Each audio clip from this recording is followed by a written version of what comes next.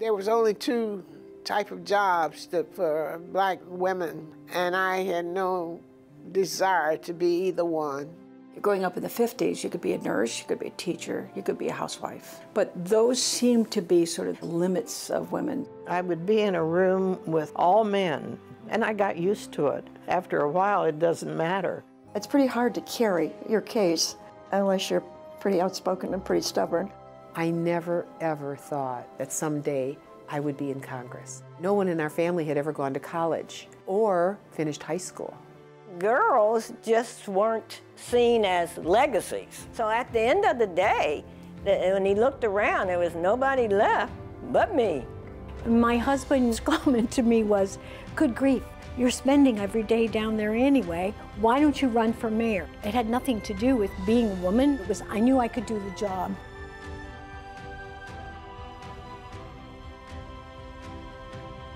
Trailblazing Women in Ohio Politics is brought to you in part by Dr. Mary Beth S. and Martin E. Ray. The Ohio History Fund, a program of the Ohio History Connection. Ohio Humanities, a state affiliate of the National Endowment for the Humanities. Bowling Green State University. And by viewers like you. Thank you.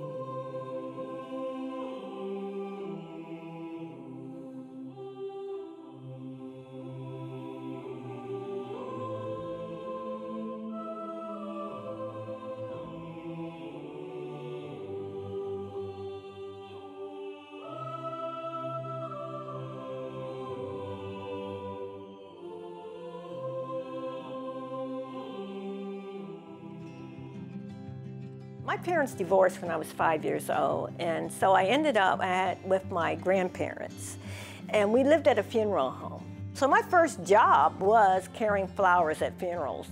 you know, and my family had me really involved in the business. I grew up in a family market. Our mother baked pies in that store. Our dad made homemade kielbasa, homemade sausage, homemade veal loaf. I'll never have veal loaf like that again. He made the best veal loaf out. And we would go with him bouncing in his truck, my brother and myself, and we'd go to the market and get all the supplies, and we helped to stack the shelves. It was a wonderful, wonderful family. So I always knew from the time I was uh, first grade, I can remember I'm going to get a doctorate in something because education was important to my family. And um, I'm not going to be a teacher or, or I'm not going to do those things. Uh, not that I don't value them, but I had very strong women role models who didn't believe in that and pushed those boundaries. My mother was uh, in sales. My grandmother was a county chairwoman uh, for the Republican Party and was a redheaded raconteur and, and held great sway. When I was young, I had no idea that I would uh, be involved in politics. I did uh, community work, but uh, I, and that was where I was going in um, being married, children, mother, housekeeper, and that was it. During my latter years of high school, I was interested in business, business administration, and uh, that's what I started out at UC. And I became interested in politics when I met my husband. Politics was never on my radar screen at all, but I enjoyed people. I really enjoyed being around people. I was a cheerleader in elementary school, I was a cheerleader in high school, and I got to go to college on a cheerleading scholarship back in the 60s. In those days, they probably would have thought they would try to give me some medicine to calm me down, but they kept you busy. So I took baton lessons. I played violin. I also played piano because that was important to the funeral business to be able to, if they needed somebody to play the piano, I could do that. Whatever they could find for me to do, I was doing it. I was the editor of our yearbook, co-editor with another woman. I love journalism. I learned what an important experience that was to be able to lay out messages and, and uh, to write stories. And then I went to an all-girls high school, St. Ursula. The sisters took us to Washington. I'd never been to Washington. And I have a picture in front of the U.S. Capitol. I never, ever thought, I mean, it wasn't even in my mind that someday I would be in Congress. I grew up on a farm In fact, I was born just 10 years after voting for women became possible. I was always very interested in politics. I couldn't wait until I could vote, and I couldn't vote until I was 21. I remember when Truman ran, I wanted to vote so bad for him, and I couldn't. I wasn't old enough. Uh, I had three older brothers who really my father couldn't interest them in going to political events with him, and so he would take me with him. When I was eight, nine, ten, taken to the railroad station when our candidate for president was coming through town. And so that, I think, stuck with me as I grew a little older because I had been exposed to it at an early age, and I realized for my father that was a very important thing to him, is that you should have some realization of the political system. I can remember our father, when he'd come home from work, he'd sit us on his lap and he'd watch the evening news. And when the political conventions would come on, he would make us be quiet. And we thought, those are so boring. What is he listening to? But we knew from them that it was important. They were our most important teachers. I was the oldest of five, and my father was involved in politics, and it absolutely fascinated me. And so I would go with him to all these dinners and events. He was on city council, etc., and I really liked it. What I discovered was I had more fun behind a camera or behind the scenes than at a podium or working a room. My father was a county committee uh, person, but he never ran for anything else. They'd, they'd ask him many times to run for office, but he said that's how you lose your friends. the interesting thing is that my whole family, from my grandfather, my grandfather started a business in 1932. And so we were funeral directors by generations. And one of the things that I had learned at Parsons College from just observing the other kids, that if your family was fortunate enough to have a business, then you owed a duty and responsibility to go home, take that business, and make it more. And so my dad's political career really started when I finally took over the business. So me being in politics, and I just saw what all he went through, and I didn't want to be bothered with that. But then I saw how he helped people. Well, I came to Cincinnati in 1955, and I was staying with my aunt and uncle because I thought I could do better here after I graduated from high school. I entered the University of Cincinnati for about a year, a little over, and then I went into a business school. When I went to Kent State University in the late 1960s and early 70s, it was a very tumultuous time. And I ended up on house council in a very large dorm, and then I ended up president of my dorm. And I remember we had hours for women. Women had to be in at one o'clock on the weekends and 10 o'clock on the weeknights. I thought that was absurd. Why were the guys allowed to run around and we weren't? So I staged my first protest. And I had a whole group of young women who were going to stand with me outside the dorm when they locked the doors. I was the only person standing there. and one of the things that happened at Kent shortly thereafter was the hours for women were absolved. In about the junior year, the Vietnam War, 1965, 1966, was the most complicated, unresolved war of my generation when they were young. During that era, Martin Luther King was assassinated. There were riots across our country, cities were burned.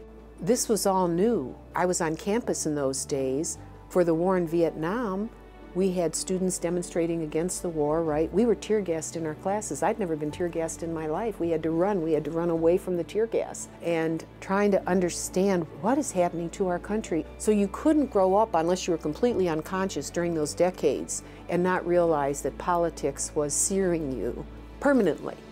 All those things had tremendous influence on me. Well, actually, it got sparked in Whitehall. We moved in next to a rabid Democrat, and he was running for Whitehall City Council. I'm pretty competitive. Growing up with three brothers makes you kind of competitive. I thought if he can do that, then I should be involved with my political party. So I became involved with the Franklin County Republican Party, took that involvement with me when we moved to Reynoldsburg, and had a lot of good friends, all men who were running for city council. So probably for the first five years, I did a lot of political work. It was sort of one of these things that the light bulb went on. And I thought, let's see, I am making the phone calls. I am putting up the yard signs. I am sponsoring the coffees.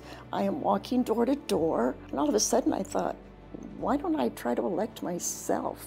Because I wasn't particularly happy with what they were doing. They might show up at a meeting every two years when you had to run again. So I was a little bit critical of that. I was raising two daughters, very active in schools. And so I just decided that I would try to, I did. I wanted to do neighborhood planning because I wanted to work in community and to help them in their neighborhoods. And Toledo was so resistant to that. The first meeting I ever had, I was the only woman. You asked me, I went out to Lucas County. My first meeting was to meet with the farmers in the Monclova region.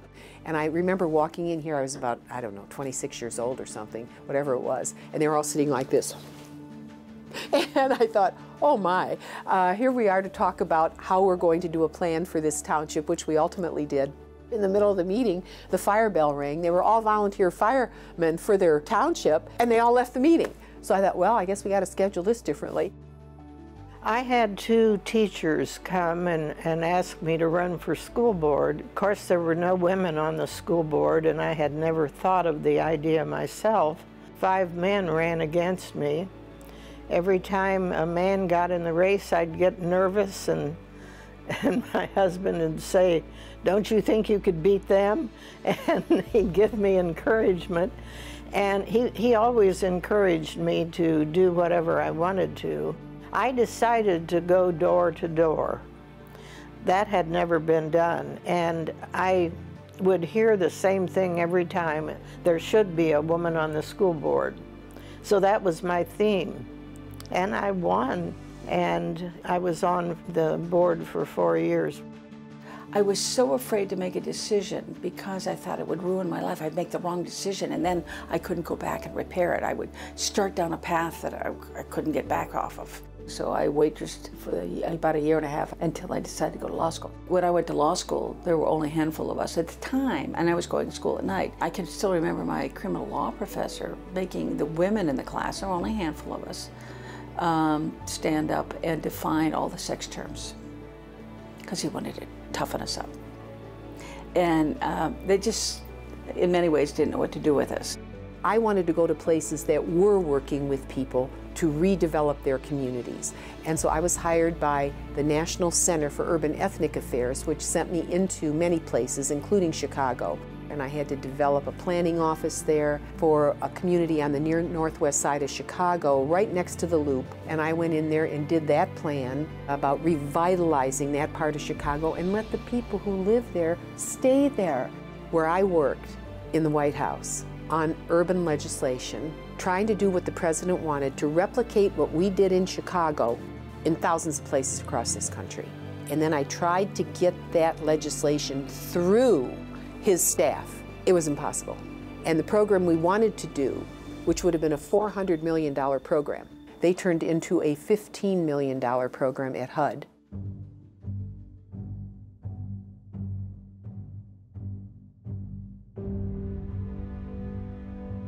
By the time I got out of law school, I knew I wanted to be a prosecutor.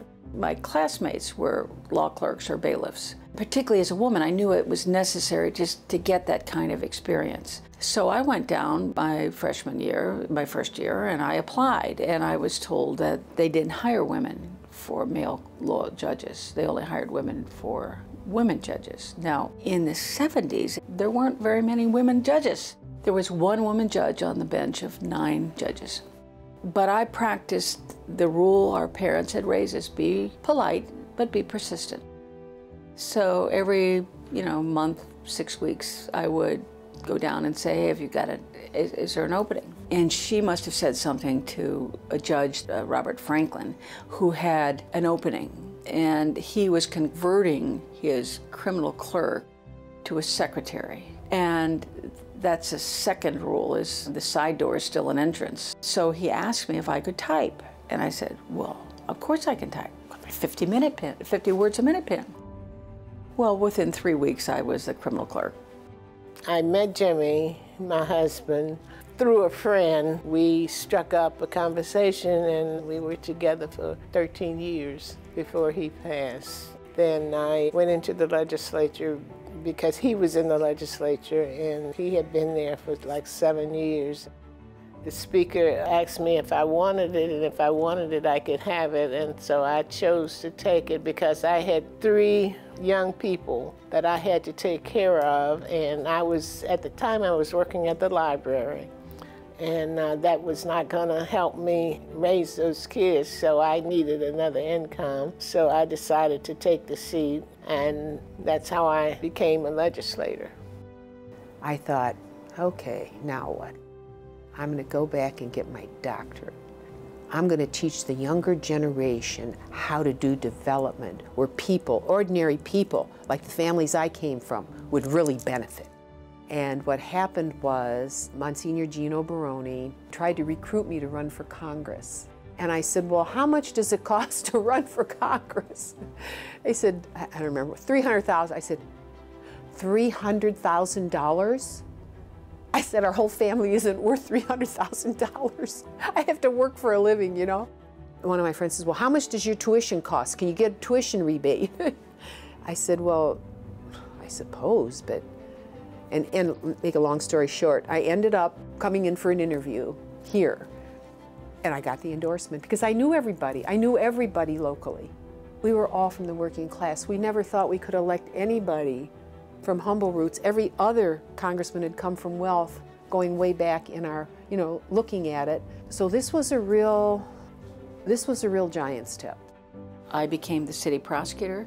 Then I worked with a lot of highway patrol. So now I have the whole range of law enforcement in Northwest Ohio.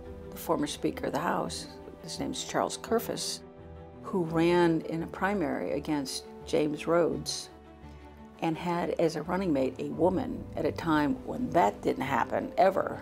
He encouraged women.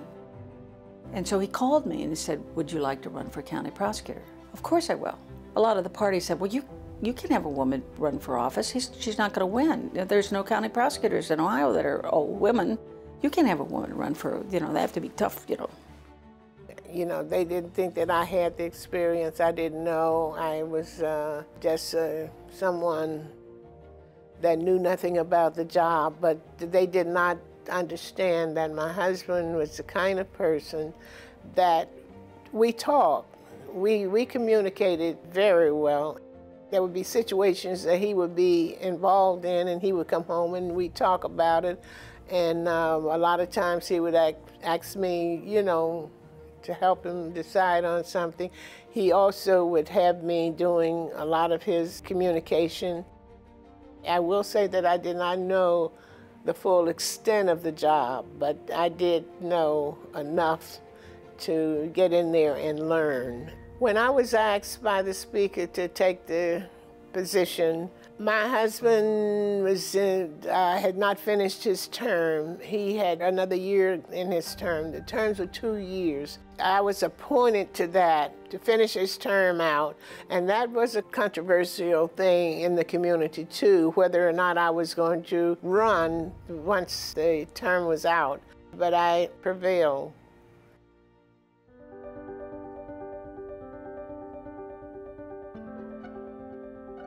I was there eight years before another black woman came in. And uh, that, and she came in from Cleveland. Then after she came in, Ron McGlynn came in. We had a pretty nice little group there, but I had a problem not with the legislature as a whole. I had problems being the only black female, and there were 12 black men there. And their thing was, uh, well, you know, we trying to get ours together, here you come.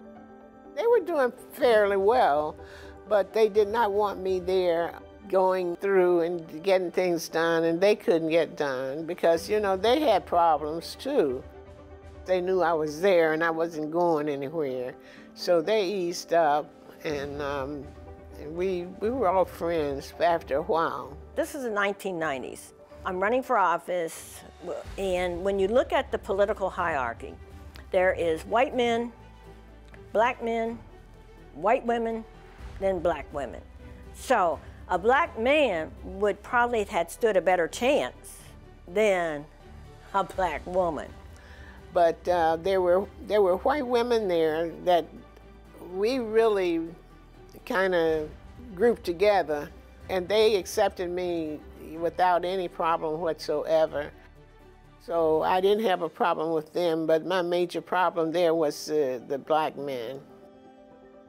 The people wanted their leader to represent them, and especially within the African American community. They expect for their leaders to look leader. 90% of before somebody would hear you is how you look. And running, especially running for mayor, people wanted to know that you looked serious enough for us to consider you to be in a serious position. And I added to it, you know, I started wearing hats and all that kind of crazy stuff because that was just me. Because I was wearing hats from being a mortician.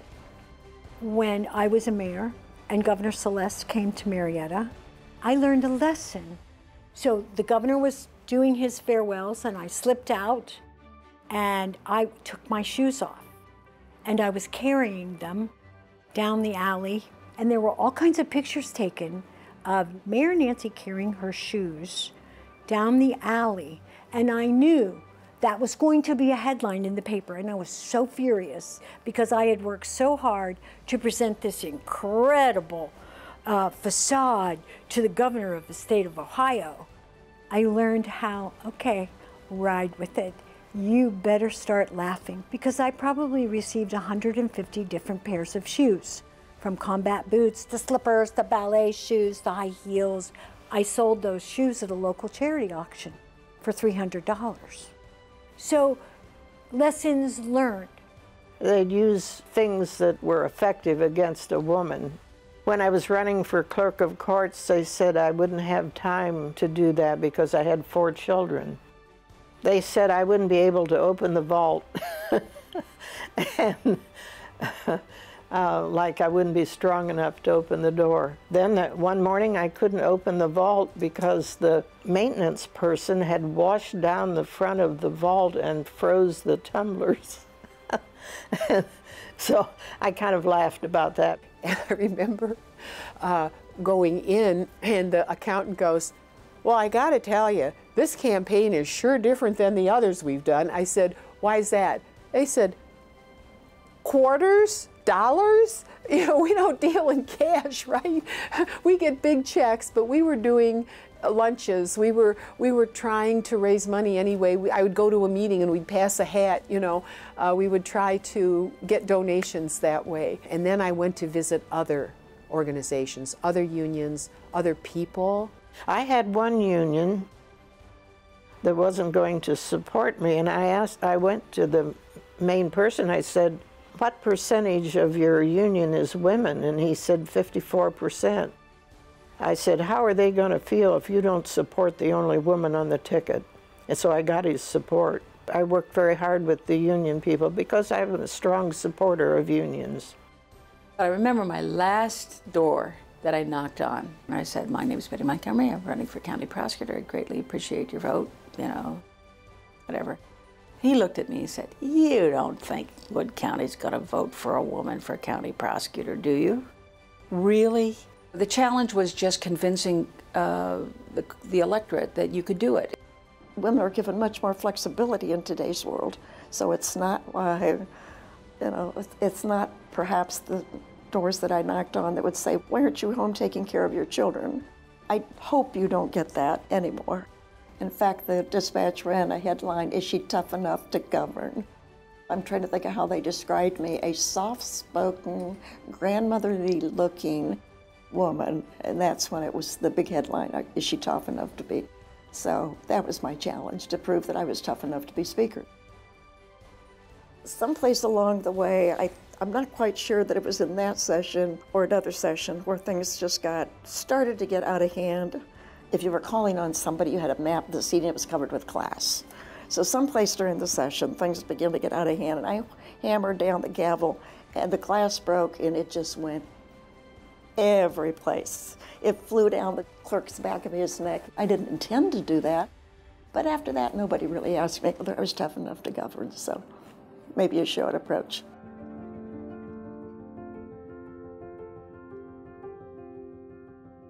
After getting married and going to the University of Virginia, where my husband was a student, and then returning to Marietta after he was in law school in Case and starting our family, uh, uh, a friend of mine was running for city council. I said, let me help. We need to get some women on council. And I helped run her campaign. She won. Six months later, there was a vacancy on city council, and I get this phone call. Would you please come and talk to us? Oh, no, no, I'm not doing that. I have four children. I ended up getting drafted to do it, and I've loved every minute of it. And I finished that term and decided to run for city council. My first city council race involved me being very pregnant, and it was running at large. But I never thought about that, and I, I was always, I was never a tiny pregnant woman. We were at a senior citizens luncheon, and we were all squeezed into these tables and they introduced candidates. And they introduced me as I stood up. I caught my stomach on the table and dumped everything on the floor. Um, and what, you, you need to laugh and smile, and what are you going to do? We have all of these incredible things. I had a playpen at council chambers. Children were a great way to ease tensions in committee meetings, and mine were pretty ornery. I'd always said when I left city council, I'm not doing it anymore political office, but the opportunity presented itself.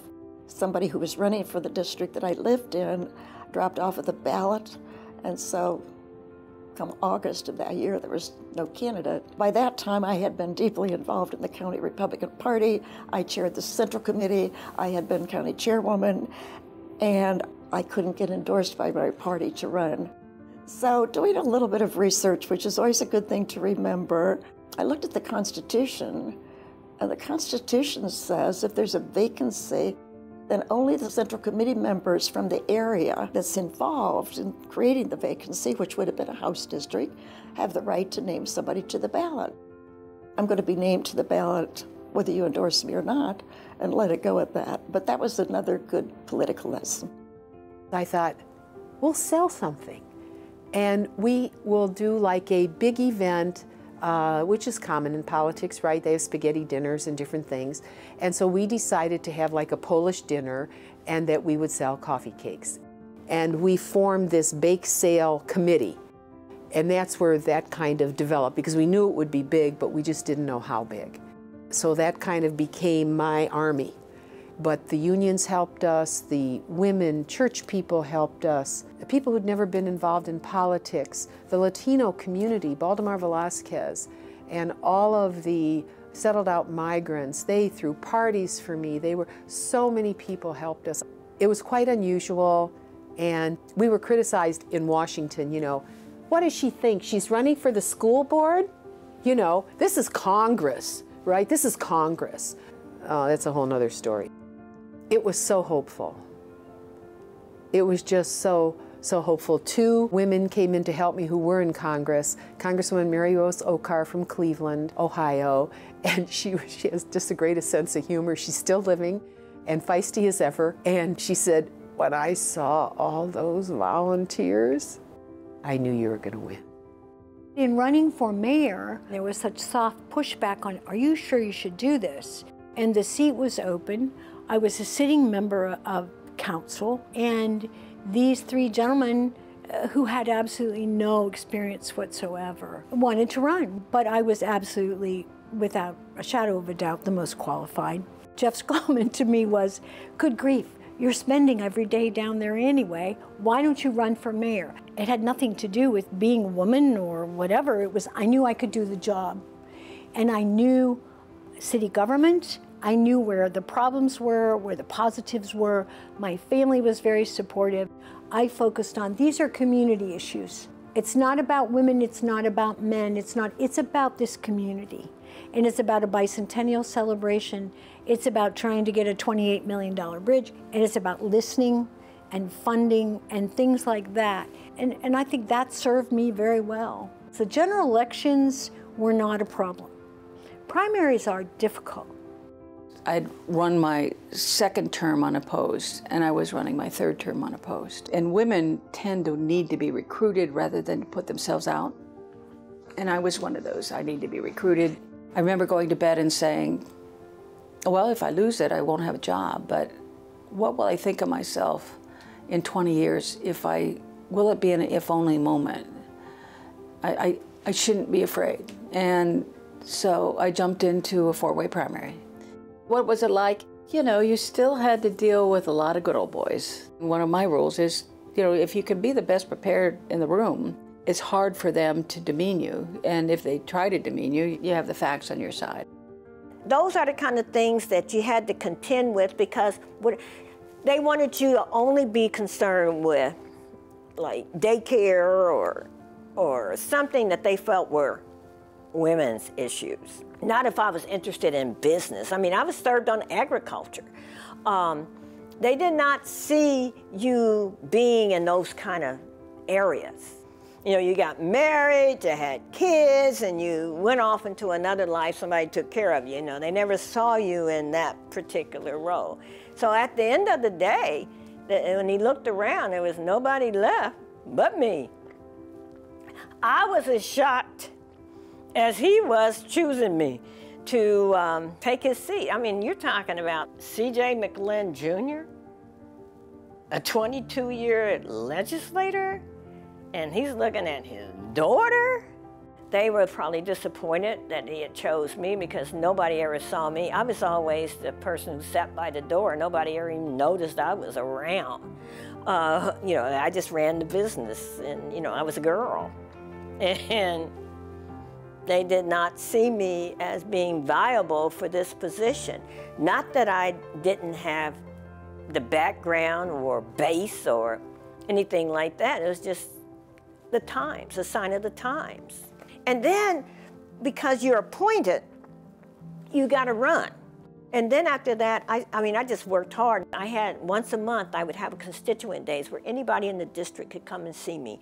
And I would have the proper people there to address their issues. So I became a people's uh, representative like my dad.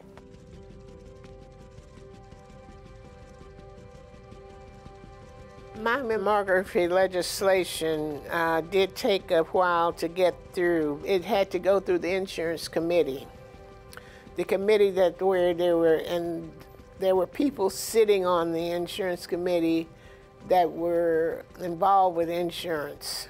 At that time, insurance companies didn't was refusing to add anything. I would get it so far and it would be held back. So I spoke to the speaker about it, and the speaker told me that just let him work with it for a while. And so the speaker attacked him on the floor and said, I, I want that bill out tomorrow. And so we got the bill out and it passed. And then I didn't have a problem over in the Senate because there were some legislators over there that was interested in it too, some female. But the men, they were against it. And you know, when you're in a situation where it's all men, or 99% men. And it's something about women, you have a hard time getting it through because they don't see what you see and uh, they think that you're just frivolously asking for something. One of the people that I had come to know during a tenure as mayor was George Voinovich. I admired and respected him as a fantastic mayor of Cleveland and just enjoyed the things he had done. And so when he was running for governor, there was no doubt that I supported him and supported him as loudly as I possibly could. And he called and said, I, I don't have a director for the governor's office of Appalachia. Would you head up the evaluations and, and send me some names of people you think would be good directors? And I get this phone call that says, he rejects your names.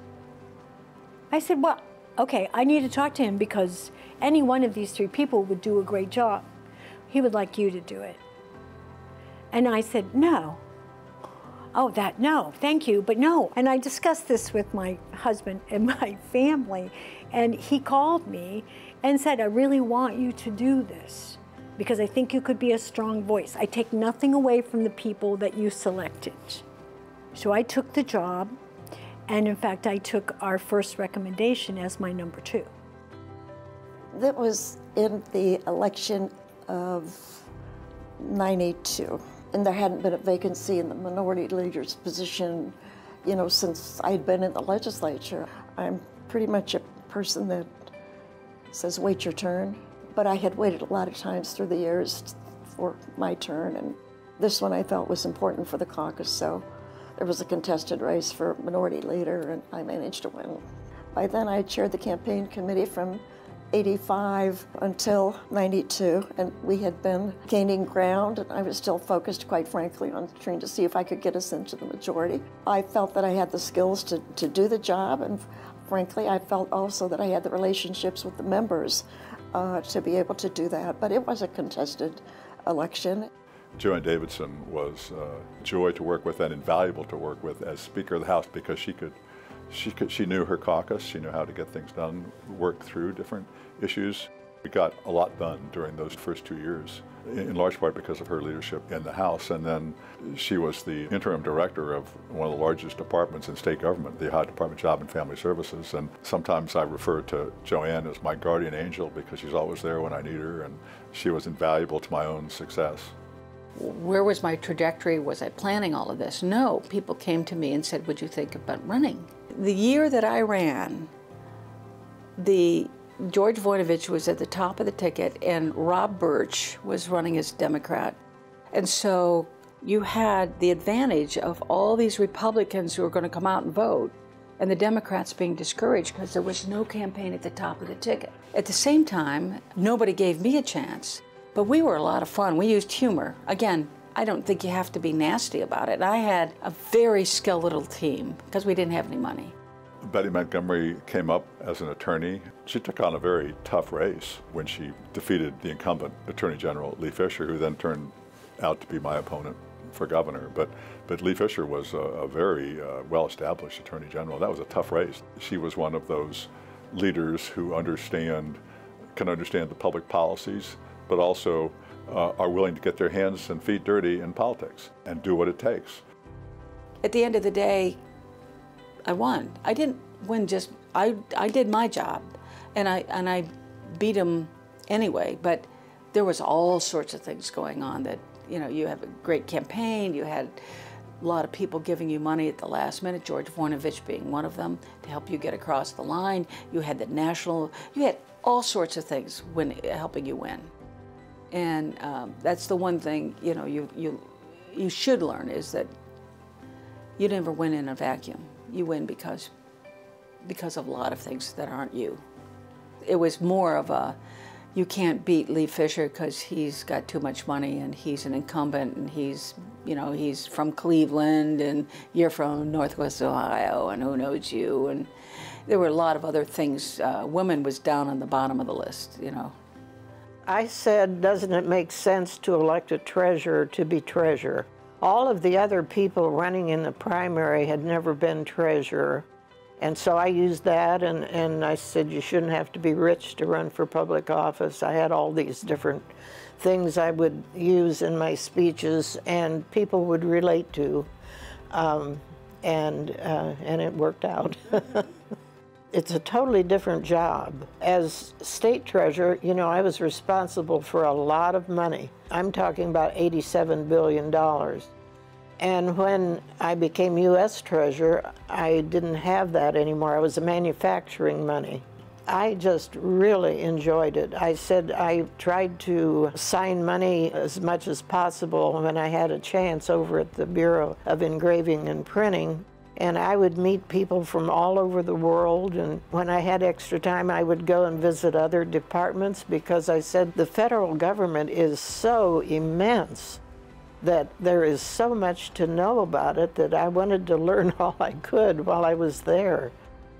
Being the director of the governor's office of Appalachia and having Governor Voinovich being so supportive, he would, at least on three different projects, we would fly to a groundbreaking or an opening because he wanted to talk to folk. He wanted to see what the projects were all about. So we were on the plane and he said, Nance, I think I'm going to pick a woman as my running mate. And my comment to him at the time was, It's about damn time.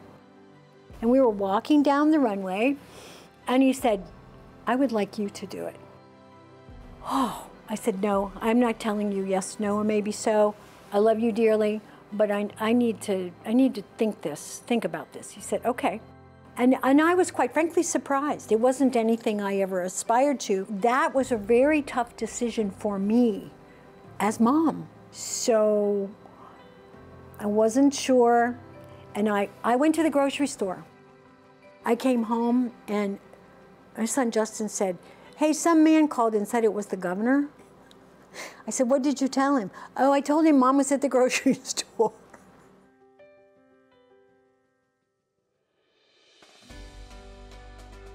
Giving advice to young women who are interested in going into politics that you need to be financially secure.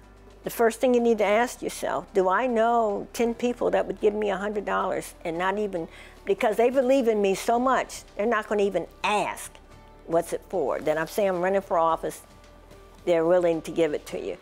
I've worked with so many men in my career at different times, and it seems to me that many of, of the young men sort of have outlined for themselves by the time I'm 24, I want to do this. By the time I'm 26, I want to do. They, they've sort of outlined what their goals are. My experience as a woman and watching other women is that we sort of weave, we don't have a straight line, we sort of weave through it. And sometimes it depends upon decisions that you make as far as marriage and a family, and then you have to work around that. It was women at that time that said, how about your children? What, what are you going to do about your children? Number one, the fact that I was a mom. Number two, the fact that I was a woman. It was like, oh, come on, people. We can get this done. I never had even considered that because it, it was really a family decision that I do this. I remember my husband saying, you know, I was talking about running for state treasurer. He said, What all do you want to run for? I said, I want to go to the top. And I know he looked at me kind of funny. He said, Really? And I said, Oh, yes. I had no idea that I would go to the top. You can't just pretend you're running for office. You got to work like crazy. I was so tired so many times that I, you know, you'd just be exhausted. You think you couldn't go another step, and you just had to keep going.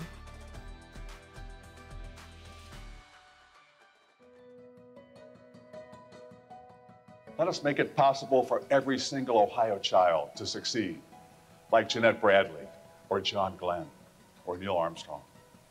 Let us seize the special opportunity that is ours to act boldly and decisively at a time when the eyes of our fellow citizens, both present and future, are upon us. It's been my um, honor and pleasure to serve with three amazing women Lieutenant Governor Jennette Bradley and uh, the first woman to serve as Speaker of the House, Jo Ann Davidson, and also Attorney General and State Auditor Betty Montgomery. So I, I feel you know, just privileged to have had the opportunity to serve along with them and to have them as my partners in various endeavors in state government.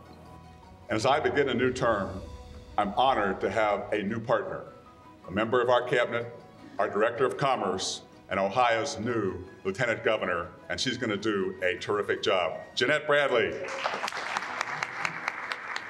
Well, at, at that time, running for reelection, we were, we were anticipating that a Democrat representing an urban area uh, would probably be running. So we actually did look to the cities uh, for, for potential uh, running mates uh, to deal with the uh, urban development challenges uh, across Ohio. I had created an urban re revitalization task force with mayors, and we were making a, a real effort to, to broaden our base of the Republican Party across Ohio. So it's not just suburban, not just rural uh, at the time, but also making a strong appeal to the cities because that's where so many uh, of our citizens live, and the cities actually have major problems and major issues. Jennette Bradley was a natural, and, and we knew that she had not only the city council presence, but also uh, the business community uh, experience, you know, having worked for Huntington National Bank uh, for a, a, long period of time. So she brought uh, a lot of assets to the ticket. I did not plan a career in public service when I entered East High School or Wittenberg University. But looking back, no one could have predicted that Ohio would make history in its bicentennial year as the home of our nation's first African American woman to serve as lieutenant governor. From my earliest days with the Columbus Metropolitan Housing Authority and through 11 years on Columbus City Council, I have long been committed to public service. I believe it is through public service that we can make a difference. It's how we touch each other's lives, how we make our communities and our state better for the benefit of all. When I appointed her treasurer of the state of Ohio, and uh, there had been some uh, problems with potential corruption before her, so she had to really clean up that office and manage it very professionally. You're investing billions and billions of dollars of state funds, and she really did an admirable job of, of bringing modern, efficient banking practices into the state treasurer's office. Treasury employees and I make a commitment today that we will work hard every day to make the Ohio's Treasurer's Office the best it can possibly be and one that is worthy of your support and trust every day. Since our state was admitted to the Union nearly 200 years ago, millions of people have called Ohio home. But out of all of those people, just 44 have preceded me in the office of Treasurer of State. Our mission for the Treasurer's Office is clear collect, invest, and protect state funds. And we must always, always remember that the money comes from the people of Ohio. She was a leader who was prepared to take responsibility for major parts of state government, like the Department of Commerce, like the state treasurer's office, and carry out those duties. So th- that was her background, that was her training, and uh, that was her uh, attitude. To the people of Ohio, I thank you for your support. I feel privileged to serve you in a state that stands out as a shining star full of opportunity and promise. Thank you, and may God bless America. Politics was never on my radar. My grandfather had been, my grandfather had run for city commission. And back in that time, they poured acid on the sidewalk where we lived. They, they had a newspaper article come out with a black hand. They tried to paint my grandfather as a communist.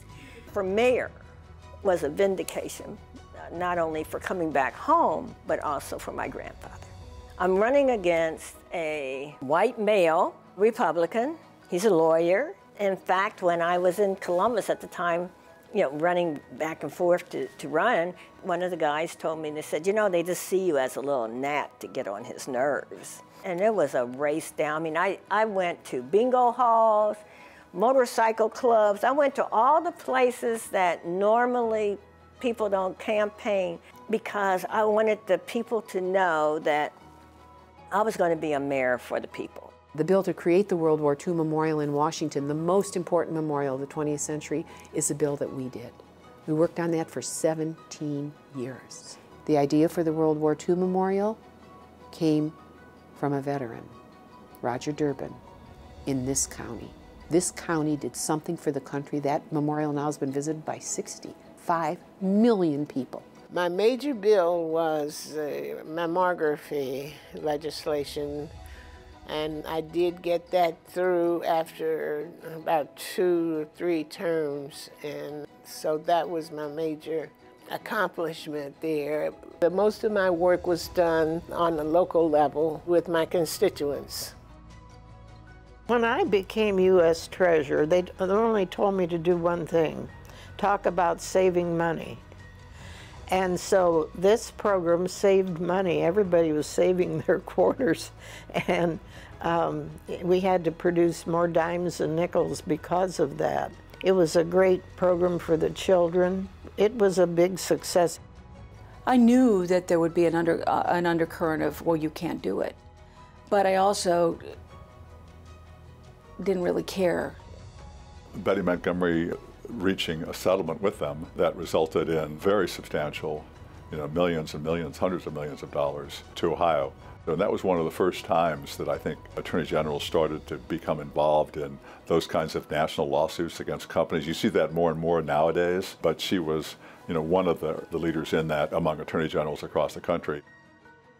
It was very exciting because I knew when he won the election from November that by law he needed to resign to be sworn into the Senate.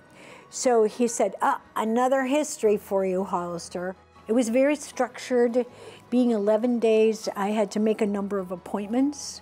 I had to sign bills.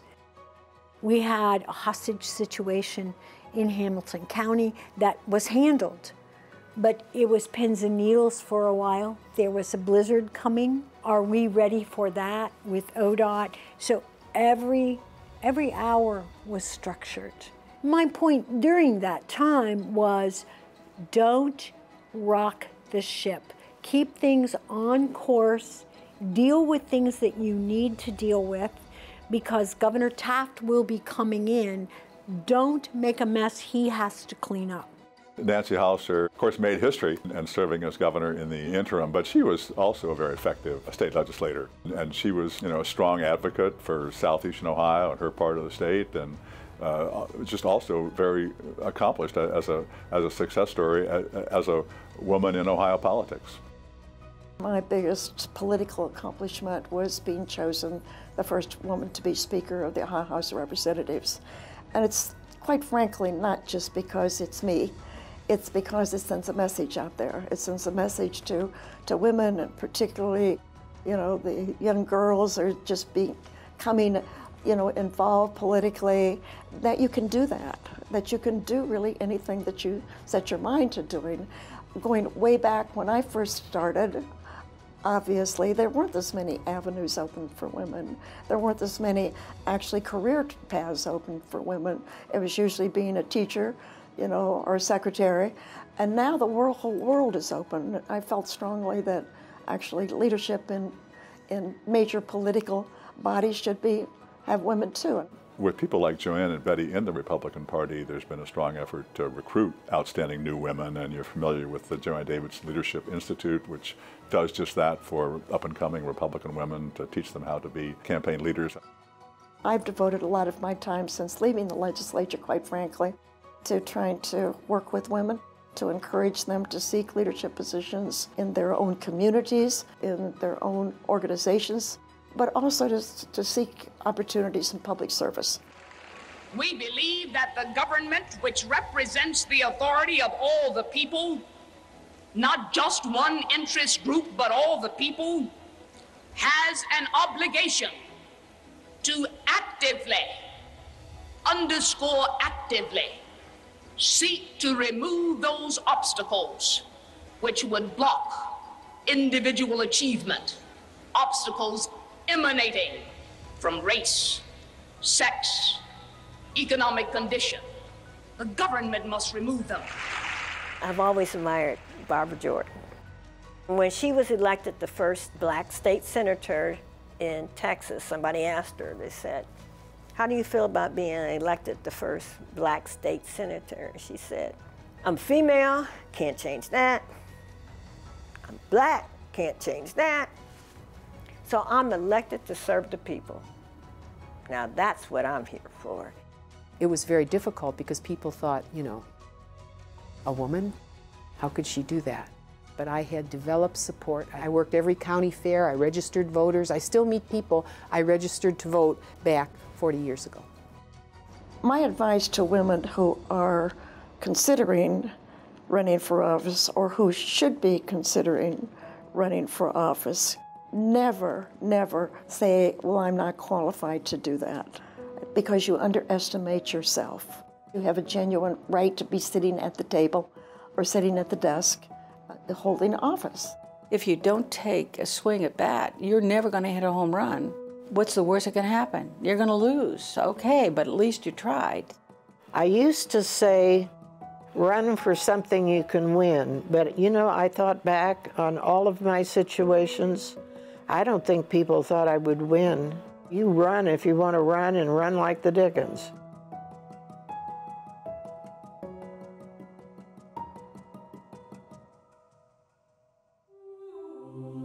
Trailblazing Women in Ohio Politics is brought to you in part by Dr. Mary Beth S. and Martin E. Ray.